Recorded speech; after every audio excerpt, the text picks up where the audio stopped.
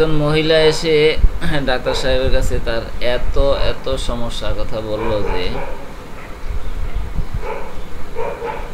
Doctor সাহেবের মাথা এলোমেলো হয়ে গেল।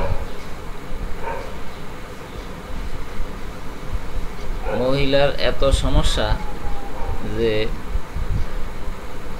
মনে হবে সে রোগের একটা ফ্যাক্টরি, কারখানা। বলেন, এই রুগীর ঔষধ কোনটা? হ্যাঁ উত্তর হইল এই রুগীর ঔষধ হইল পালসেটিলা পালসেটিলা প্রাটেন্সিস। সাধারণত পালসেটিলার রোগ খুব দ্রুত গতিতে এক অঙ্গ থেকে আরেক অঙ্গে চলে যায় এবং এবং অঙ্গ থেকে অন্য অঙ্গে রোগ ট্রান্সফার হওয়ার কারণে অঙ্গের বৈশিষ্ট্য অনুযায়ী রোগের লক্ষণও চেঞ্জ হয়ে যায়। তো স্বাভাবিকভাবে মনে হইতে পারে যে এটা তার নতুন রোগ।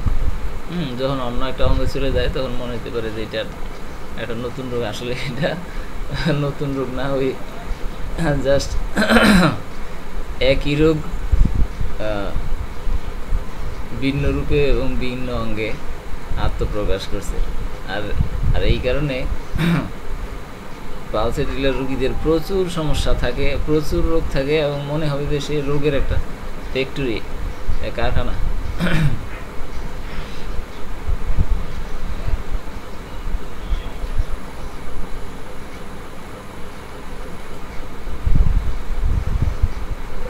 একজন রুগী, বিশেষ করে মহিলা রুগী তার দৃঢ় বিশ্বাস যে তার ক্যান্সার হয়েছে। এবং তার এই বিশ্বাস এত প্রবল যে আপনি ঘণ্টার পর ঘণ্টা তাকে বুঝাইয়াও তার এই ভুল ধারণা দূর করতে পারবেন না। তো এখন বলেন যে এটা কোন ঔষধের লক্ষণ? হ্যাঁ এটা হইল নাইট্রিকাম এসিডামের লক্ষণ। নাইট্রিকাম এসিডাম ওষুধটা তিন মায়াজমকে রিপ্রেজেন্ট করে, একটা হইল সোরা সাইকোসিস সিফিলিস তিনোটা। আর এই ধরনের রুগীরা খুব ইমোশনাল থাকে।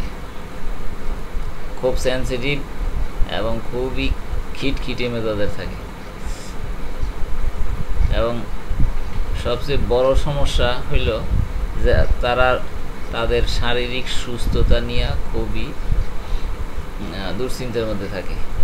সারাক্ষণ আবিষ্কার করতে থাকে যে তার শরীরে কি রোগ হইল। তা এই ধরনের মেন্টালিটির কারণে তাদের মধ্যে ক্যান্সারের প্রতি একটা ভয় সৃষ্টি হয় স্বাভাবিকভাবে, সামাজিকভাবে তারা জানতে পারে যে এই রোগ ক্যান্সার হইলে আর রক্ষা নাই। তো এই কারণে তাদের সমস্ত মনোযোগ যেয়ে পড়ে ওই ক্যান্সারের উপরে।